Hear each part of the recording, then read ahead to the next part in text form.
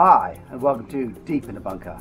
It's mid-January, which means it's the perfect time to treat my pear tree, which has a severe case of canker. Pear tree canker is a nasty fungal infection. It used to be treated with copper-based sprays, which are now banned under EU regulations, leaving me the only option left is to cut out any dead wood using a uh, curved knife.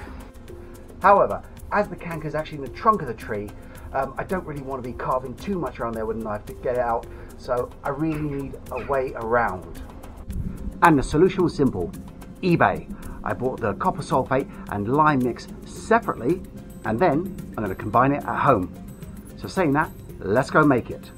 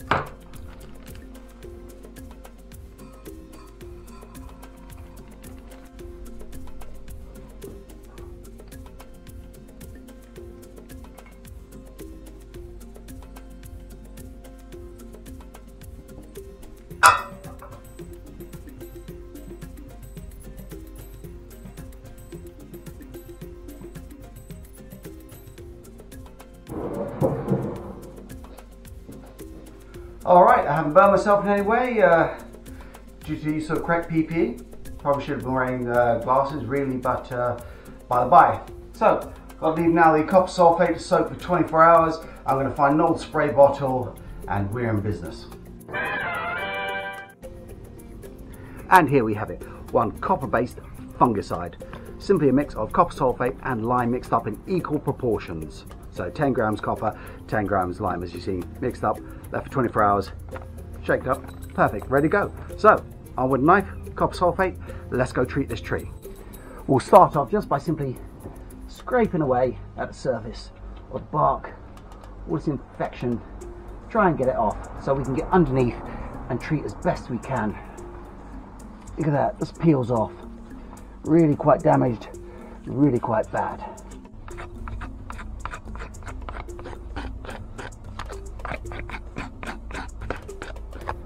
Next we apply our fungicide spray, just a light spray, down the tree.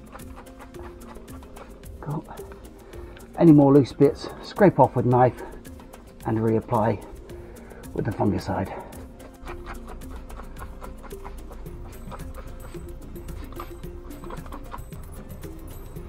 And that's about as far as I want to go. Just light scraping and light spray initially, see how the tree responds. Um, I've got maybe another month uh, till the sap rises in tree and don't really want to go beyond that.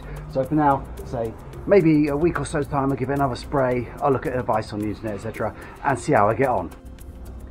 And that's what it's all about a bit of plant husbandry, taking care of your crops, your pear trees, your apple trees, whatever, making sure they're well and fit and strong and healthy so they'll take care of you.